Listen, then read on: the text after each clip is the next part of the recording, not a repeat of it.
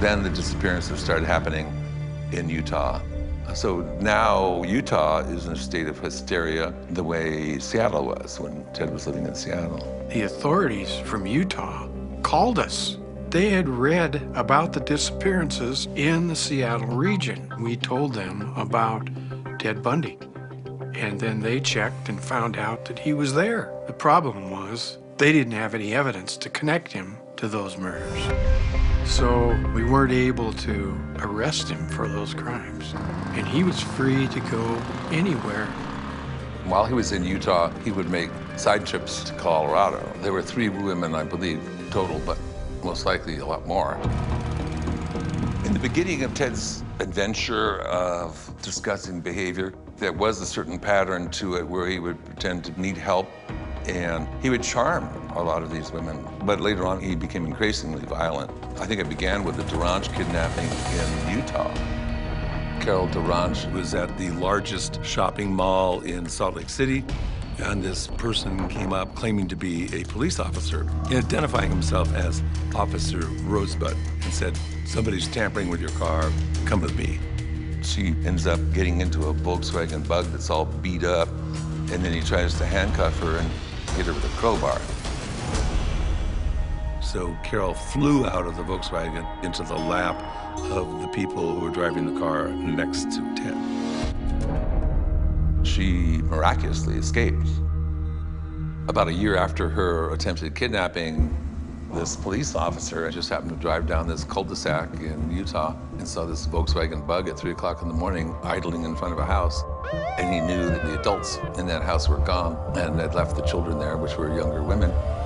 And so he chased the bug until Ted pulled over. And then he got out, and just classic Ted, and said, well, I'm just kind of lost. It's 3 o'clock in the morning.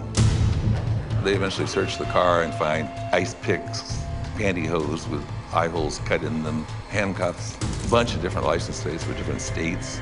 You know, a lot of things that are very difficult to explain. And that's how they caught Ted.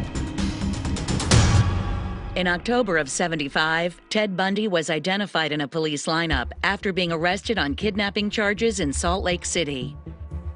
Once he was arrested in Utah, the newspapers in Washington state and all across the country went crazy. It was a frenzy everywhere.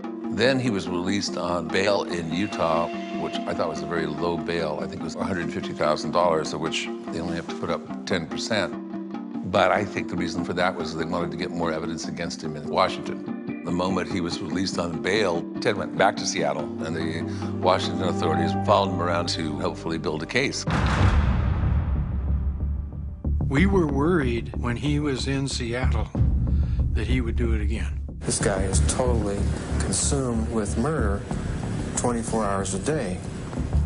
That is when the TED Task Force went into full operation with five or six detectives, steadfastly following him around, even to the point of letting him know that we were there. He wasn't officially charged with anything in Washington state.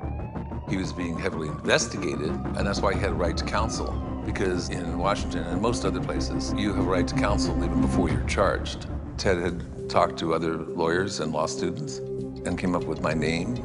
I was a brand new lawyer in King County Superior Court in Seattle, and I thought John Henry Browne was the best lawyer I had ever seen. He had the voice, he had the stature, he had the theater, he had every aspect you need to be the consummate trial lawyer and defender, you know, the damned, which he is.